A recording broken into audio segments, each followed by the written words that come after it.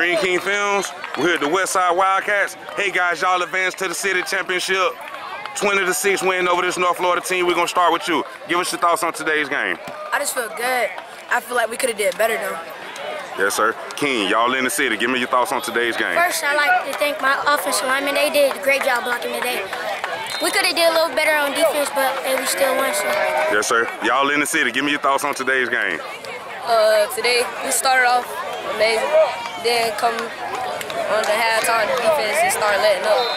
Had to get them back in the game. Talk about y'all defense a little bit more. Y'all held North Florida to six points. Talk about the Wildcats defense. Our defense locked down. Nobody got a point on us all regular season. Defense like that. King, talk about the Wildcats defense. Our defense always like this.